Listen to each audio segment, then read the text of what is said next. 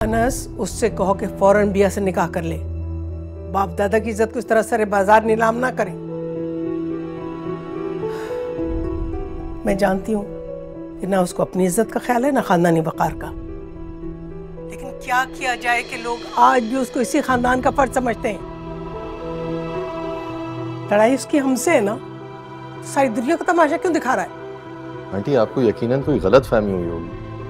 वली इस तरह की गिरी हुई हरकत नहीं कर सकता। वली मैं खुद अपनी आँखों से सब कुछ देख कर आई।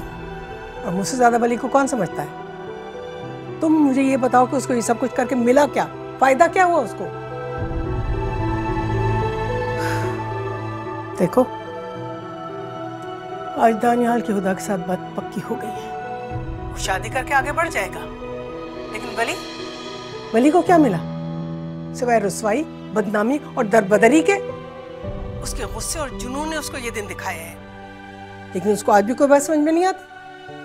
आंटी मेरा दोस्त इतना स्टूपिड नहीं है। आप देखिएगा एक दिन वली दानियल को किस तरीके से एक्सपोज करेगा। तब पूरी दुनिया को पता लगेगा कि वो गलत नहीं था। एक्सपोज एक्सपोज वो खुद को कर रहा है। उससे कहो कि इज़्ज़त इसी में है। कि फ़ौरन भी ऐसे शादी कर ले वो। ताकि कम से कम मैं तो उन तांत्रिकों से बच जाऊँ, जो मेरी बर्दाश्त से बाहर है। जी। ठीक।